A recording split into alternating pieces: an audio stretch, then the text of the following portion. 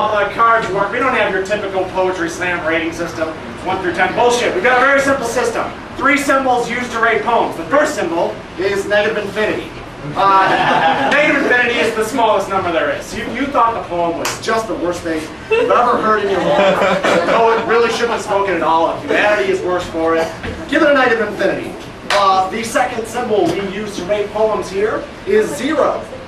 Zero is the absence of value, neither up nor down, bad nor good, left nor right, it's just plain nothing at all. If the poet might as well just have not opened his mouth, give him a zero.